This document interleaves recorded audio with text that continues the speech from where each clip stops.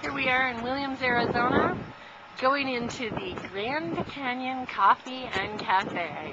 We're going to talk with Jeff and Anna, the owners of this delightful restaurant in Williams, Arizona, gateway to the Grand Canyon. Hi, we're here today at the Grand Canyon Coffee Cafe in Williams, Arizona, the gateway to the Grand Canyon.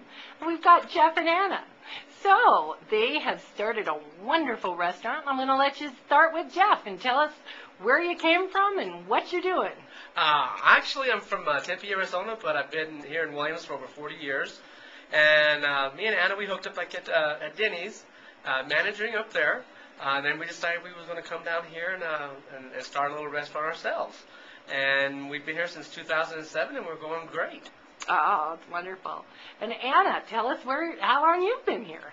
I've been here pretty much my whole life. I was born and raised here, moved to Oklahoma for a little while, came back, and like Jeff said, we worked at Danny's for four years, and we decided to start our own business. So July 4th, 2007, was our first day open here, and we've made it through two winters.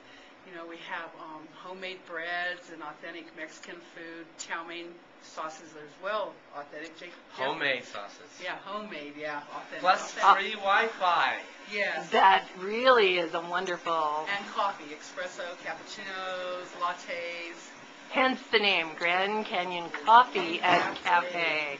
Wonderful. So thanks so much for showing up and telling us all about your business. Thank you. We'll Come on see, down. Come on down to Williams. Thanks. Thanks. Getting ready to check out from the Grand Canyon Coffee Cafe.